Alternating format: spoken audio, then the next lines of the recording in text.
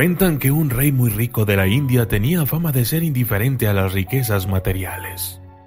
Un súbdito quiso averiguar su secreto. El rey le dijo, Te lo revelaré si recorres mi palacio para comprender la magnitud de mi riqueza. Pero quiero que lleves una vela encendida. Si se apaga, al término del paseo, el rey le preguntó, ¿Qué piensas de mis riquezas? El súbdito respondió, No vi nada, solo me preocupé de que la llama no se apagara.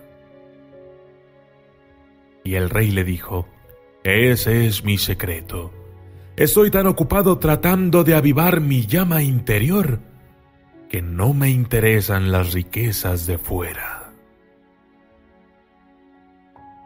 En ocasiones vivimos tratando de mejorar nuestro entorno y estabilidad financiera que olvidamos que lo verdaderamente importante está dentro de nosotros mismos.